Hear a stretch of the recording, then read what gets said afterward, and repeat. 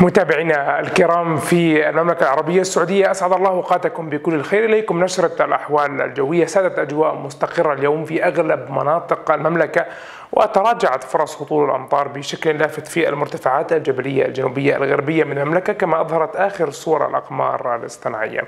بالنسبة لتوقعات الأحوال الجوية المتوقعة بمشيئة الله تعالى خلال الأيام القادمة. يتوقع أن تنشط سرعة الرياح ما تسمى برياح البوارح في الأجزاء الشمالية الشرقية من المملكة مسببة حدوث موجات غبارية في مناطق حفر الباطن والمناطق الشرقية المطلة على الخليج العربي ما فيها ذلك منطقة الدمام وتمتد أجزاء من هذه الموجات الغبارية إلى مناطق الرياض وبالإضافة إلى بعض الأجزاء الجنوبية الشرقية من المملكة.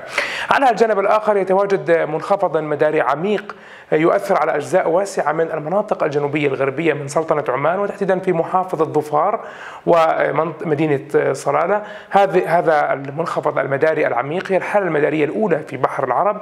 لا يستبعد أن يتطور هذا المنخفض المداري العميق أكثر ويدخل إلى داخل أراضي السلطنة ثم يتجه باتجاه الأراضي العمانية. حتى اللحظة عفوا اليمنية حتى اللحظة لا يوجد تأثير مباشر لهذه الحالة المدارية على أجواء المملكة. بالنسبة للأحوال الجوية متوقعة هذه الليلة في العاصمة الرياض أجواء صافية درجة الحرارة 29 درجة مئوية وبالتالي الطقس دافئ بوجه عام حتى في ساعات الليل ولكنه أيضا جاف للغاية حيث تصل درجة الرطوبة النسبية حوالي 15% فقط. درجات الحرارة المتوقعة العظمى غدا والصغرى في محافظات المملكة.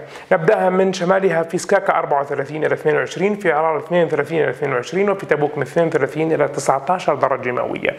المناطق الغربية من المملكة في المدينة المنورة من 43 إلى 30 في جدة تبقى الرياح نشطة بشكل عام من 34 إلى 25 في مكة المكرمة من 38 إلى 28 وفي الطائف من 35 إلى 25 درجة مئوية.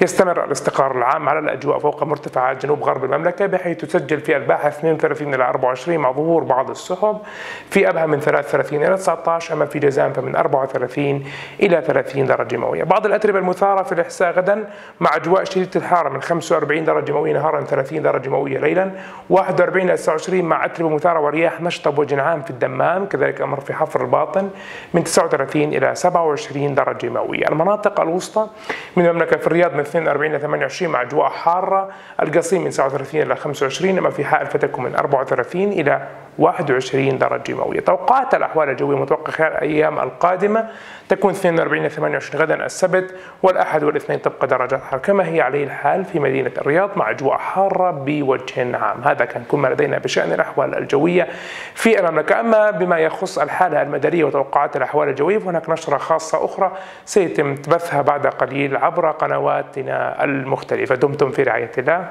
إلى اللقاء.